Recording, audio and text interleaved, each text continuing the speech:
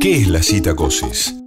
La citacosis es una enfermedad bacteriana y zoonótica. Esto significa que se transmite de animales a humanos. La bacteria de la citacosis se encuentra en aves como loros y cotorras, pudiendo o no enfermarlas. Pero cuando un animal sufre un factor de estrés como captura, hacinamiento o mala alimentación, sus defensas bajan. Si esto ocurre, la bacteria comenzará a multiplicarse enfermando al ave y esparciéndose en el medio ambiente. No adquiera aves silvestres. Si ya las tiene, cuídelas.